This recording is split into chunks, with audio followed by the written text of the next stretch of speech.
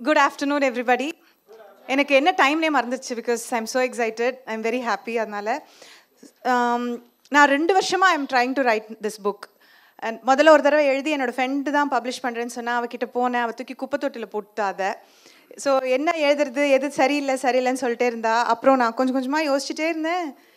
எனக்கு ஒன்றுமே நடக்கலை ஆக்சுவலாக அப்படியே டிஸ்பர்ஸ்டாகவே இருந்துச்சு.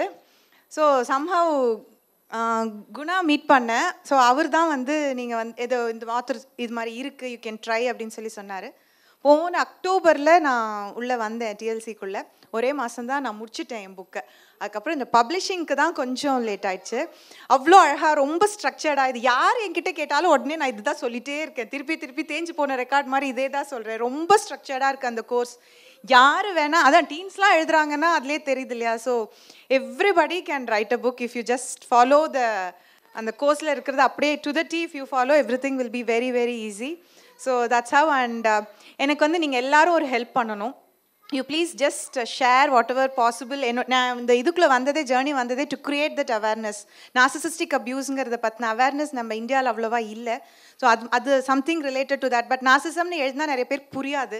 ஸோ லோ எவ்வளோ இதுவாக புரியிற மாதிரி எப்படி பண்ண முடியும் I thought and I have name my book as behind your unavailable love so if possible please spread the word and create that awareness yeah thank you